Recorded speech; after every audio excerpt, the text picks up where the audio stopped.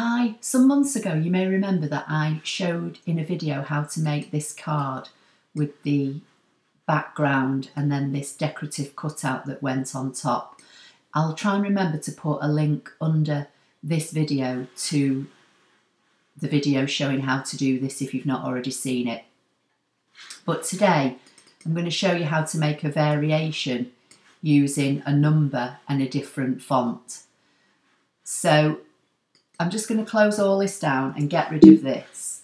So this is the file that I've made and the font that I'm using today is another font from dafont.com. So if you come to dafont.com, it's in the dingbats and I think it's under animals. But if in the search box here on the top right you put make your own pets and then search, it should come up and it's this font here so I'll just click on it. And all that's in this font are these five designs A, B, C, D and E. So I used the Brother ScanNCut type converter and I think I just used A, B, C and D. And there's um, a video about how to use the type converter on my channel in the fonts playlist so I'm not going to go into how you do all that in this video, but it's just to show you that this is the font I've used. So I'm just going to delete these other designs and just put the rabbit on one side and then this card on one side just to remind me how I did it. But basically, I'm going to come to the um, tabs on the left hand side. I'm going to come into the text I used the font that is the top right hand corner, which is Brussels Demi. Double click to expose the cursor, highlight the text, and then I typed a number four. Now, as you can see, this number four, when it's selected, says that it's three inches high and nearly one and a half inches wide. That isn't the case. That's the size of the bounding box. So I'm not particularly bothered about the size at, at this for this video, but if you want to size this exactly, with this selected, just right click and hit divide. And then when you next click on the number, it will put the bounding box directly around the outside of your number. And you can now see that it's actually only one and a half inches high by just over an inch wide. So I'm just going to drag it out at the moment. It's about just over three and a half by three. Then I'm going to bring the rabbit on. I'll just bring it in a bit nearer. So first thing I want to do is size the rabbit so that it sits on my number here. So I'm just going to drag a corner and shrink it down by eye until I think it looks about right. I'll zoom in. So I think it kind of looks in proportion to the actual number. So that looks okay. Now, as with the letter S card I made some time ago, you need a shape that it is in lines, not a solid shape. And by that I mean if I just zoom in on his face, you'll see here that there's like double lines. So if I right click with this selected and ungroup, you'll now see that there's all blue bounding boxes around all these various shapes that make up this rabbit. I'm just going to zoom back to map for now. Just go a little bit bigger. So what you want to do, you first of all want the outside of the rabbit. Now it's not necessarily always easy to get a hold of, so you may have to zoom in.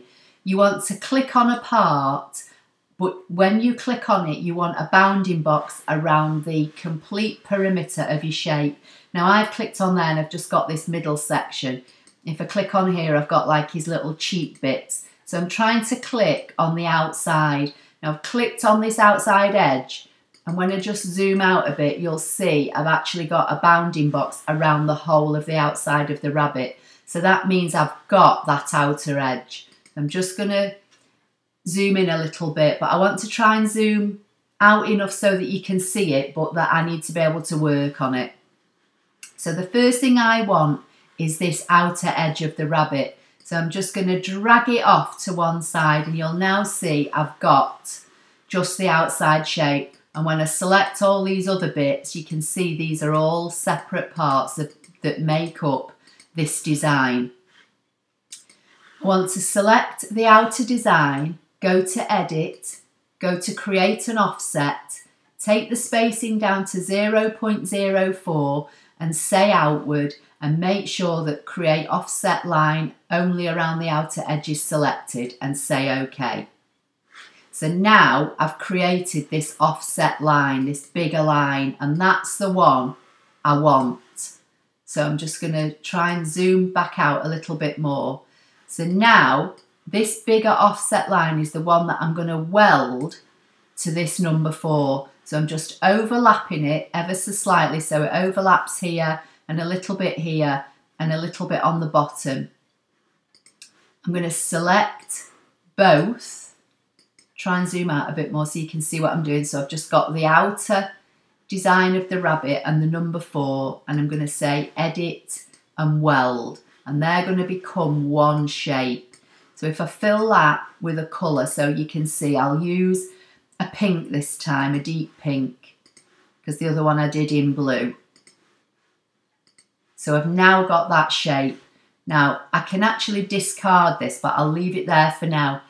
What I want to work on now is this rabbit, but again, I'm just going to zoom in in the hope that you can see what I'm doing a bit better. Now I can see when I click on parts of this rabbit that some parts are darker than others. So this section here is, a, is within this space and I don't need it. So I'm going to click on it and I'm going to move that away and click on it. And his little mouth the same. I just want to leave little gaps. Don't worry about the little bits on his face and his eyes. You may lose the definition in those. And on my original that I've just shown you, I'll just bring it in. I drew the little eyes in and the little whiskers bits on his face with um, a white gel pen. Now the next thing that you want to do, I'm just going to try and zoom in a bit more. You need to have gaps between all these sections. So I'm going to select this top part and I'm just going to shrink it down ever so slightly and then just move it because you want a gap between this part and the, and the cheeks, if you like. So now I'm going to select these and I'm going to shrink them down small so that I'm creating gaps in between the sections and I'm going to do that with all the sections. Now with the body part I'm just going to see if I can select all these body parts, group them and then shrink them down as a whole and then put them into place, ungroup them, and now I'm going to kind of drag them down a bit and spread them out.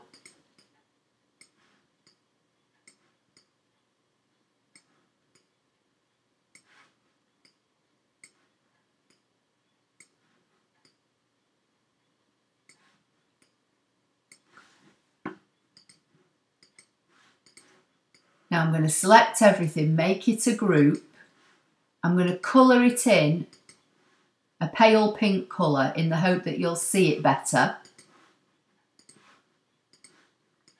and position it on top. Now I'm just going to zoom in on here again so you can see it.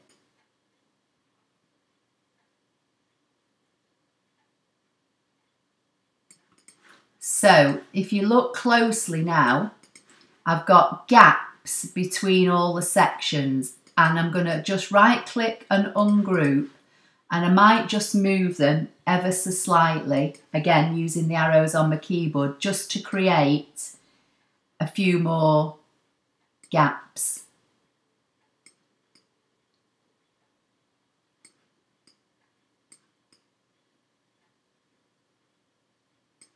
You might have to tweak them a little bit and, you know, shrink them down to make them fit individually.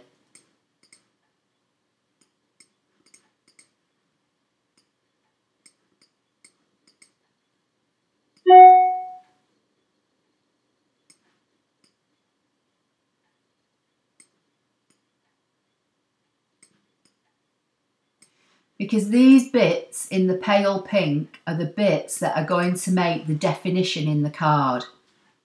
These are going to be punched out of this dark pink. So basically what I'm going to do now, just zoom back out a little bit, all the pale pink sections are on top of the dark pink. I'm going to select everything and I'm going to come to edit, subtract, and they're going to punch out. And that's now given me my frame. So now I want a border around the outside like I showed in my original. So I'll just bring this one in. So what I've created here in pink is the equivalent of this pale blue here. And now I'm going to make, make a solid background for it to sit on. So with it selected, I'm going to come to Edit, Offset. I'm going to make a 0.04 outward around the outer edge only and say OK. I'll just make that, I'll select it and make it a paler pink so you can see what I'm doing and I'll send that to the back. So right click and send to back. So now here's my cutout sat on my solid frame. So if I go fit to mat and I can get rid of the original rabbit and then if I bring my card in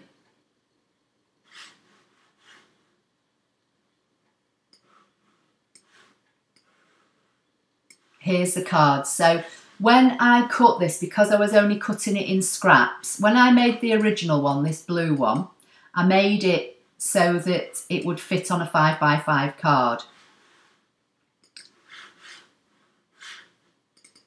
But when I was cutting this one, my, my demo, I shrunk it down to fit on an A6 card, which is like the equivalent of an A2, I think, in the US because I was just cutting this from scratch just for the video.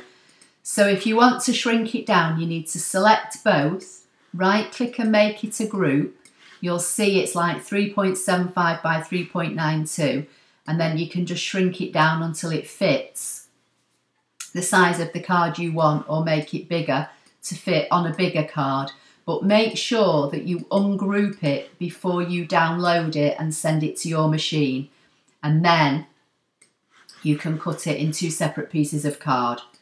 So that's just a variation using a different font on the card that I showed you several months ago. I hope you liked the video. I hope it helped. Please give the video a thumbs up if you did. Don't forget to subscribe if you don't already do so. And I'll see you in the next video. Thank you.